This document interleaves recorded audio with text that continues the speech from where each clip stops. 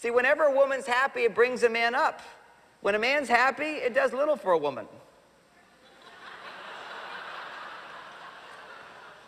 Because, see, her, wor- her world of being is not based upon taking credit for his happiness. That's not what makes her feel good.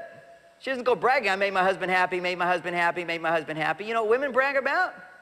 He made me happy. That's what women talk about. Oh, he did this for me. Oh, he did this for me. He noticed I got my hair cut. By the way, I failed on that one this week, but I'll usually win that point.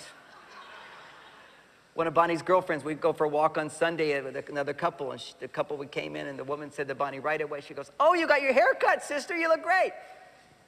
I went, "Oh yeah, honey, your hair looks great." She goes, "Nah, too late for you."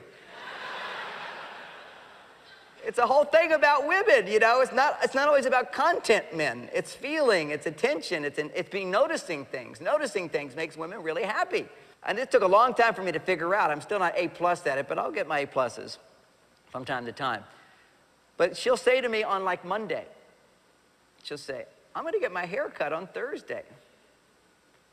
And I used to wonder for the longest time, why does she tell me? Who cares? I mean, I don't go around saying to my friends, hey, I'm going to get my hair cut this Thursday. I mean, just don't do that. So it took a long time. These things would hit me. I go, why is she telling me this? You know, I go, oh, good to know. Yeah. But then I was realizing the reason she's telling me is so that on Thursday I'm prepared to notice she got her hair cut. Because it makes a world of difference. If she comes home and says, What do you think of my haircut?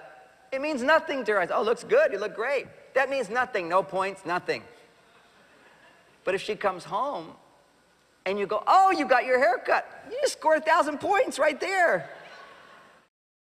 Cel mai mare expert în relații vine în România, pe bune. Trăiesc deja în România de 38 de ani, iar ăștia 6 ani de zile cu una ca nevastă sunt cea mai tare școală de relații ever. Scumpi? Da? Mergem și noi la conferința lui John Gray, cel care a scris Bărbații sunt de pe Marte, femeile sunt de pe Venus? Sigur, chiar vroiam să-ți propun asta. Deși se pare că vorbim aceeași limbă, bărbații sunt de pe Marte, femeile de pe Venus. Se vede asta și la muncă și acasă. Probabil nu veți deveni experți în relații după această conferință, Dar sigur veți afla care este codul de descifrare al sexului opus.